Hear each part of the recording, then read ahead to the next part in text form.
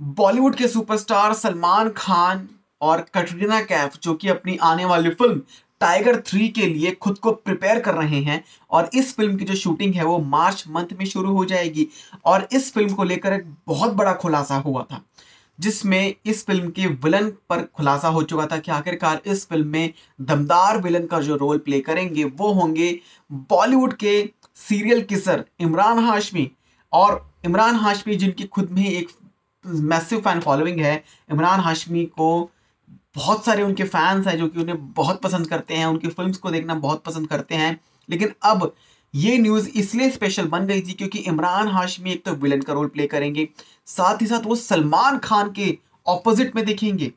ये काफ़ी एक एक्साइटेड वाली फीलिंग थी फैंस के मन में और जिसको लेकर सोशल मीडिया पर बहुत सारा बस क्रिएट हो गया था कि इमरान हाशमी जो कि एंटोगनिस्ट का रोल प्ले करेंगे टाइगर थ्री में.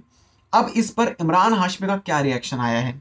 आपको बता दें कि बॉलीवुड हंगामा की एक रिपोर्ट के मुताबिक एक इंटरव्यू के दौरान इमरान हाशमी से पूछा गया कि आपको कैसा लग रहा है और आपका क्या रिएक्शन है कि आप विलन का रोल प्ले करेंगे टाइगर थ्री के लिए। जिस पर इमरान हाशमी जिस पर इमरान हाशमी जिन्होंने कहा my lips are sealed no comments जी हाँ उन्होंने कहा कि माई लिप्स आर सील्ड मेरे पास कोई कमेंट नहीं है।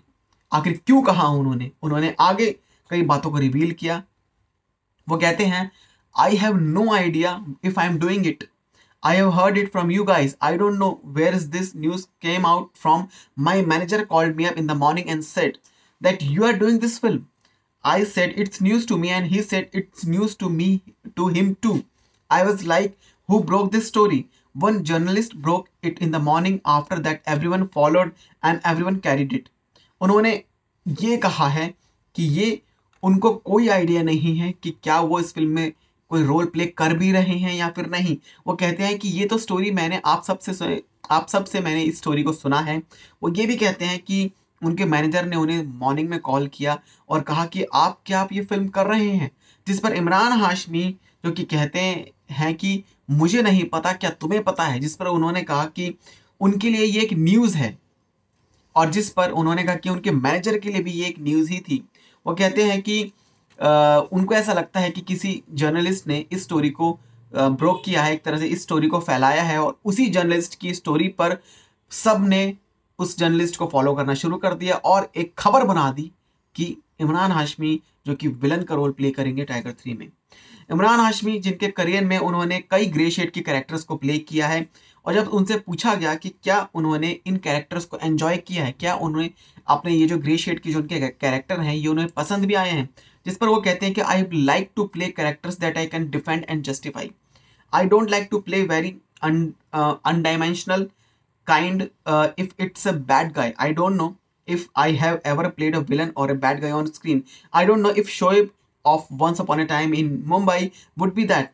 All the characters were grey uh, in that at least both the guys were grey. It is interesting. I always wanted to play like a battle, but not a, a unidimensional note. There's need to be reason from uh, for him being the way it has to be justified. So उन्होंने अपने role पर यही बातों को reveal किया है कि वो अपने रोल को डिफेंड कर सकते हैं जस्टिफाई कर सकते हैं वो इस तरह के किरदारों को करना पसंद करते हैं।